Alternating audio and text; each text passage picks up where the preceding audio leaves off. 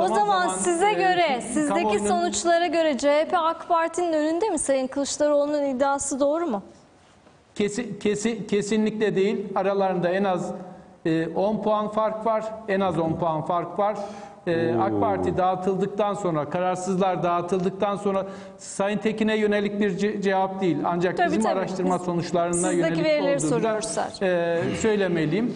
Biz kararsızlar dağıttıktan sonra AK Parti'nin e, 35'in altında olduğu bir sonucu henüz e, görmedik. Evet. Yani, Şu anda da e, bu arada Sayın de- görüyoruz. Evet.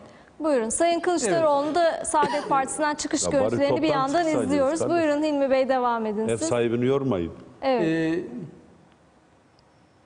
yani e, sonuç olarak e, yani bu e, araştırmalardaki çıkan sonuçlar bir bir şey bir emare veriyor.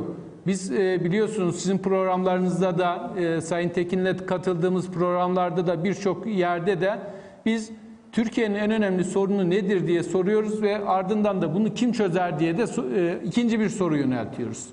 Biz sordu, özellikle e, son bir yıldır Türkiye'nin en önemli sorunu olarak %70-75'ler civarında ekonominin çıktığını ve soru bunu sorabilir çözme ihtimal ve e, potansiyeli olarak da AK Parti'nin önde olduğunu, %28'lerde e, bazen 32'lerde olduğunu gördük. Hatta bundan e, bir buçuk yıl önce 35'lerde çıkıyordu. Şu an e, 28-27'ler e, bandında. E, ardından Cumhuriyet Halk Partisi geliyor %8'lerde e, pardon 22'lerde onun ardından İyi Parti geliyor %8'lerde e, yine HDP geliyor yüzde e, altılarda Parti e, tam gömmüş. gibi böyle partiler takip ediyor. E, ama e, seçmende bir rahatsızlık Size var. bir doğru. size Yani- bir soru sormak Benim istiyor Gürsel Bey. sorum olacak Hilmi Bey. Buyurun, ya buyurun şimdi lütfen, son buyurun. son bir aydır bu yayına gelmeden önce bu anket tartışması olacağını bildiğimiz için e, 11 şirketin şeyine baktım. Yani ben şimdi gerçekten şaşırıyorum.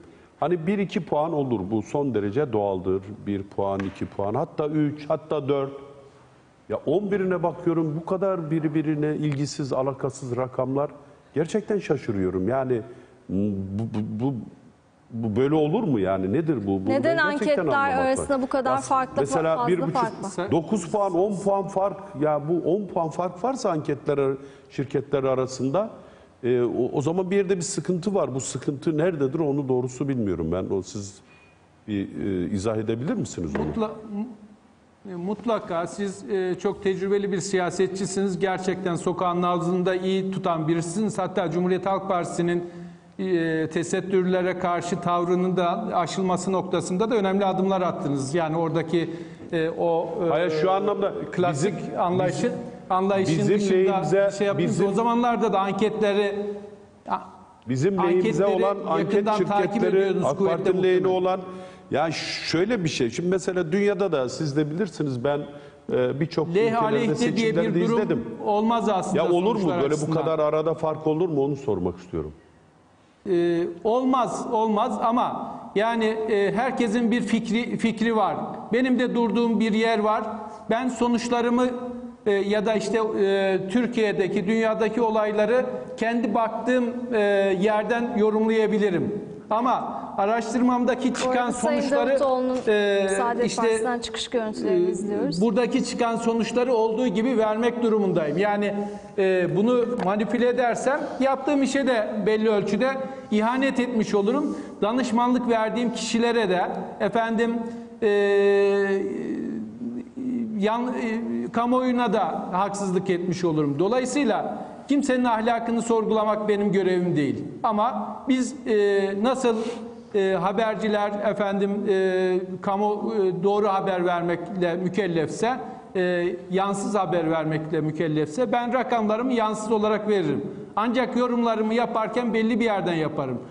Diğer sizin baktığımız araştırma sonuçlarına bak- bakacak olursak o araştırma sonuçlarında kimin olduğunu bilmiyorum ve merak da etmiyorum açıkçası. Başkasının araştırmalarıyla ilgili yorum yapmak benim haddim değil.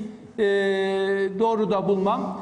Ee, Yani, Yani. aynı ev- evrende, araştırma evreninde anket yapıyoruz. Örneklemde aşağı yukarı belli başlı kriterler üzerinde e, işte e, belirliyoruz örneklemimizi. NAS 2 dediğimiz İBBS 2 e, illeri var. 26 ilden oluşuyor ya da bu e, e, bir illeri var. E, NAS 1 illeri Evet, 12 çok ilden detayına oluşuyor. girmeyelim. Evet. E, seçilen iller Seçilen iller kuvvetle muhtemel benzer oluyor. Buradaki e, farklı şeyler olabilir, e, sonuçlar olabilir, e, faktörler olabilir. Bu- Bunları bilemem. Ama e, bir araştırmacı olarak sorunun sorduğun soruyu soruşunuzdan analiz yapışınıza kadar her şey sonucunuzu etki eder. Ama araştırmalarda da kabul edilebilir belli bir hata e, payı vardır. Biz anın fotoğrafını çekiyoruz. Şu anın fotoğrafını çekiyoruz. Her ay biz yapıyoruz Türkiye e, Türkiye'nin nabız araştırmamızı ve e, yaptığımızda da e, bu araştırmamızı e, danışmanlık verdiğimiz e, kişi ve kurumlara ve e, abonelerimize e, ulaştırıyoruz. Bazı sonuçları da kamuoyuyla Peki paylaşıyoruz. çok kısa bir sorum Ee, olacak yani- size Hilmi Bey. Ee, AK lütfen. Parti milletvekillerinin iddia, iddia ettiği gibi oy kopuşlarında yavaşlama var mı? Bir iki cümlelik bir kısa yanıt rica Ee, edeceğim. kıs, kısmi olarak kısmi olarak yavaşlama var ama şunu da özellikle söylemek gerekir. AK Parti seçmeni e, AK Parti'den Şimdi biraz Ali Babacan e, ayrılıyor. Saadet AK Parti ile arasına mesafe girdikten sonra e, herhangi bir şekilde başka bir partiye e, yönelmiş e, durumda değil. Yani kararsız da kalıyor. E, AK Parti seçme kararsızlar içerisindeki AK Parti seçmeni oldukça yüksek diğer seçmenlere göre. Onlar gönlünü AK Parti'den başka bir partiye doğru yöneltmemişler. Beklendiği gibi şu an ekranda gördüğümüz Sayın Babacan'a e, doğru mail etmediler. Efendim aynı milli görüş tabandan gelenler te- e, Temel Bey'e mail etmedi. Onlar bekliyorlar. AK Parti'nin e, belki ekonomiyle ilgili sıkıntıları, belki başka e, sorunları belli ölçüde çözmesini e, bekliyor ve umuyor olabilirler.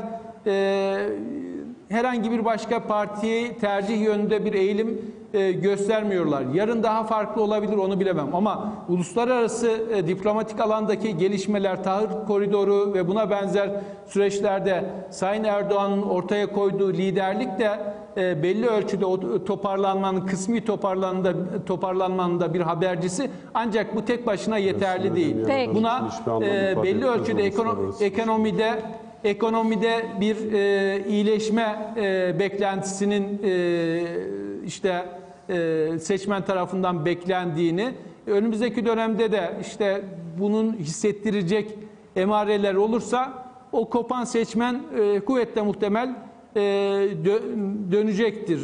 Ama e, onlar herhangi bir X, Y, C partisine yönelmiş durumda değiller.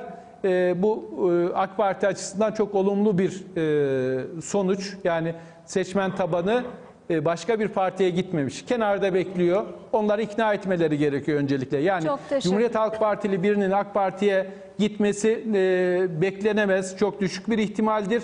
Ama e, işte çok e, AK Parti'nin seçmeni e, AK Parti'nin e, seçmeni o beklediği yerden belki bir süre sonra e, gelişmeler kendisini tatmin edici yönde olursa e, yönelebilir tekrar AK Çok Parti'ye. teşekkürler Hilmi Bey.